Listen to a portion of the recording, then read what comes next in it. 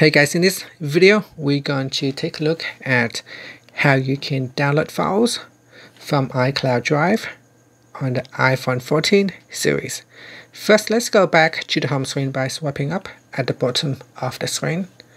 On the home screen, tap on Files to open up the File Manager. Otherwise, you can go into App Library and look for files and then open it. Next, tap on Browse at the bottom. Then tap on iCloud Drive.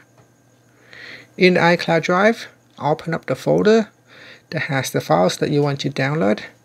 Now tap on the More button at the top and then tap on Select from the pop menu.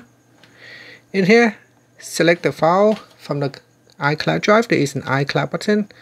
And in here, you can then tap on more button at the bottom and then tap on download now. This will allow you to download the file from the iCloud down to your device. Now if you want to move the files or copy the files from the iCloud drive to your local device, what you can do is tap on select and then tap on the more button. Next tap on copy three items.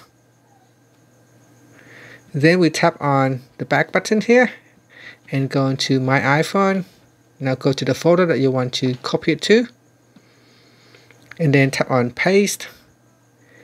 And say do you want to replace some of the existing um, items? I'm going to say replace and that's it. So we'll replace uh, some items in here.